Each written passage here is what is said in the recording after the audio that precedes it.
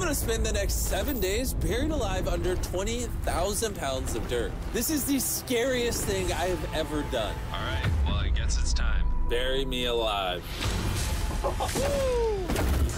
Oh, that was scary. This has got to be terrifying. Yeah, this is pretty much most people's worst fear. Oh my god, that dirt is terrifying. Brace yourself. Drop the payload! Oh god. I feel like I need to hold the roof. Oh, oh, my, oh, my roof is shaking.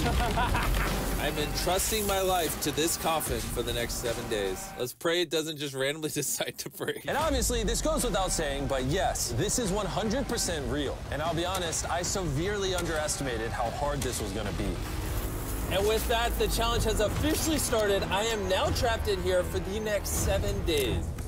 It took the boys so long to bury me alive that I already have to pee and the challenge just started. In case